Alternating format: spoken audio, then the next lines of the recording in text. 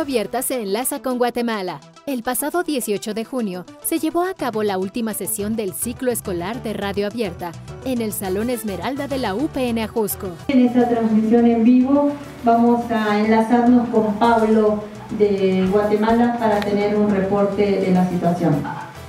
Con el tema del desastre natural ocurrido en Guatemala el pasado 3 de junio, estudiantes de la UAM Xochimilco y la UPN se comunicaron vía telefónica con estudiantes guatemaltecos para discutir sobre la situación que atraviesa el país centroamericano y cómo pueden apoyar los jóvenes mexicanos a las comunidades afectadas.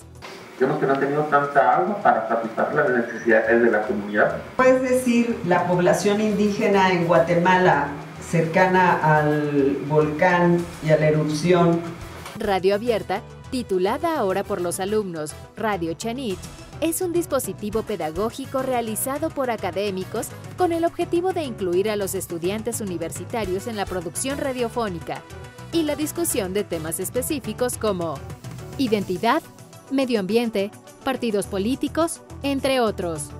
La próxima sesión se llevará a cabo el próximo 13 de agosto de 12.30 a 14.30 horas.